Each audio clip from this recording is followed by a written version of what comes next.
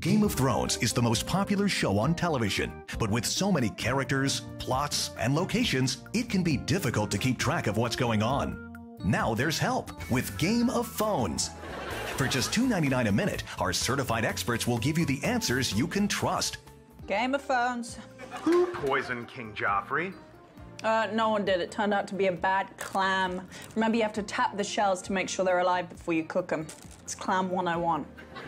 No question is too awkward. I have a crush on my brother. What should I do? Uh, nothing. It's illegal and immoral to act on those feelings. On the other hand, if he's hot, go for it. Game of Phones, how can I help you? Too personal. Game of Phones, how can I help you? I think I have grayscale. Are your genitals swollen and tender? Yep. That's chlamydia. Game of Phones, how can I help you? Too intricate. Hello, Game of Phones. I wanted to ask Maisie Williams how the whole face swapping thing works. Okay, I'll just go and get her. Okay, I'll hold. Yeah.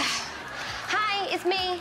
Um, yeah, so first you start off by cutting off the face. Or too intrusive. Can I have your HBO Go password? No, absolutely not. Is it Hodor? Ah, f- Our friendly operators are here to help. Game of Phones, how can I help? I just wanted to say that I hate you, you are sick, and you are just awful. You know I have caller ID. See you soon, Gary.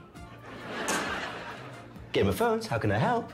And give you clarity. Yes, when Sir Davos got his penis cut off. Whoa, whoa, did- you're thinking of Theon Greyjoy. Davos had his fingertips cut off, his penis is fine. I'm pretty sure he got his penis cut off. My penis is perfect. You want me to show you my penis? What? Game of Phones. How can I help you?